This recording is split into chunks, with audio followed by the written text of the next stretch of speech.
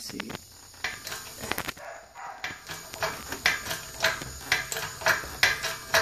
I was saying the key is these got to spin free.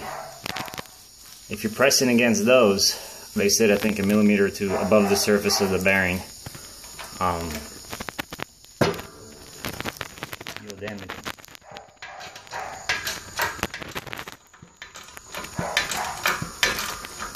If you try to hammer it on, you may or may not damage them too. Now for these, setup is a little easier. You gotta press them on. And that's it. The shims go on either surface. So you don't have to pull the bearing off to do the shims over. So it makes it a little easier.